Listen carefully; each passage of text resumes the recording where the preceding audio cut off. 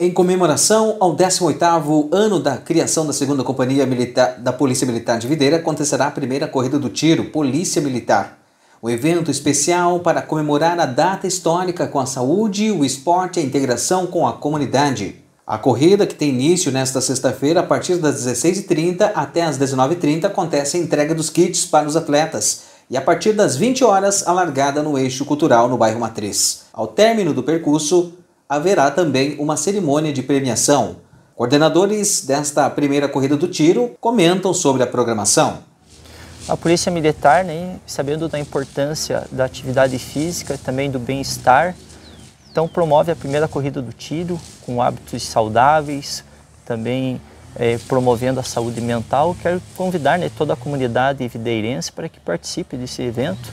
É, mesmo as pessoas que não estão inscritas podem estar é, participando né, na modalidade de participante é, desse evento esportivo aqui no município de Videira. A gente quer agradecer em nome da UNESC, a PM e a Prefeitura por ter nos convidado, né? E, e, como você falou, né, a importância da qualidade de vida, do preparo físico, da imunidade, né, isso tudo envolve a atividade física. Então, é, convidar né, o pessoal para participar, quem nunca correu, de repente ir lá dar uma olhadinha, ver como é que funciona, né, porque é um evento muito bacana. E além disso, a gente vai ter também os nossos estudantes né, que estarão envolvidos né, no preparo né, da, da competição, no, durante a, o evento também. Então a gente está tá muito feliz né, por essa por esse primeira corrida do tiro e tenho certeza que vai ser, vai ser um sucesso e que o ano que vem ainda é, a gente vai ter novas edições. É, eu como adepto também da, da atividade física, da corrida especificamente, né, é, convido, convido toda a população a participar. É, corrida 5km é, na, na, na, corrida rústica seria o ponto inicial, né? Para o pessoal que está iniciando com a atividade, seria o primeiro passo para iniciar ali com a corrida.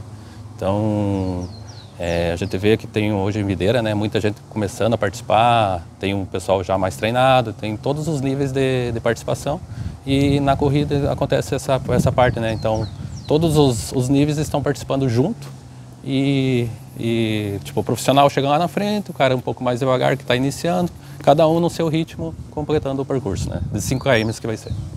Isso, é como a gente fala, né? Como se fala questão de esporte, né?